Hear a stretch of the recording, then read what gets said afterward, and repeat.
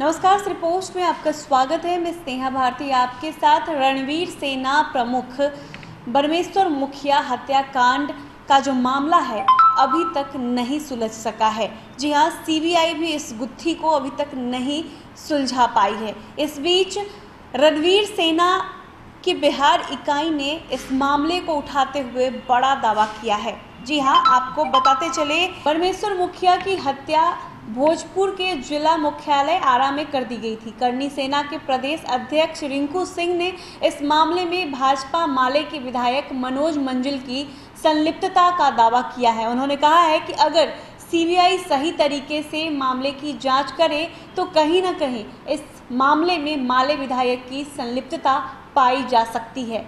दरअसल करनी सेना के प्रदेश अध्यक्ष खुद का नाम भाकपा माले समर्थक नेबूलाल राम हत्याकांड में लाए जाने पर सफ़ाई पेश करने के लिए पत्रकारों से बातचीत कर रहे थे।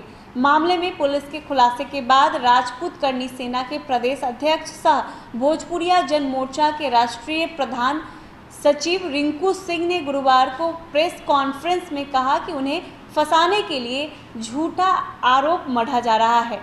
पुलिस की जाँच में इसका पर्दाफाश हो गया है। किसी भी जनप्रतिनिधि एवं आम आदमी के ऊपर ऐसा आरोप लगे तो पुलिस प्रशासन मुख्य रूप से जाँच कर सही कार्रवाई करे ताकि किसी भी निर्दोष या बेगुनाह आदमी को जेल जाना नहीं पड़े, क्षेत्र में शांति भंग ना हो।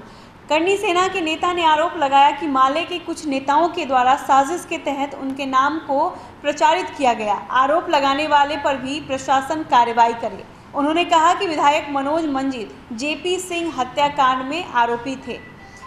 उस मामले में वह नौ महीना जेल में थे। बेल पर वह बाहर आए हुए हैं। जेपी सिंह हत्याकांड का केस वापस लेने के लिए दबाव बनाया जा रहा है।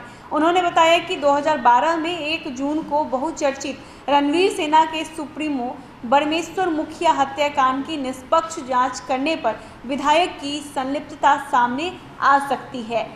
जी हाँ तो बरमेश्वर मुखिया हत्याकांड का मामला जो है अभी तक सुलझ नहीं पाया है, इसकी गुत्थी नहीं सुलझ पाई है। हालाँकि इसमें एक नया दावा किया गया है करनी सेना की तरफ़ से। जी हाँ करनी सेना की तरफ़ से साफ़ साफ़ कहा गया है कि ब्रह्मेश्वर मुखिया हत्याकांड में माले विधायक मनोज मंजिल की संलिप्तता हो सकती है। बड़ा दावा किया गया है। देखने वाली बात होती है कि इस आरोप के बाद मनोज मंजिल का क्या कुछ बयान सामने आता है।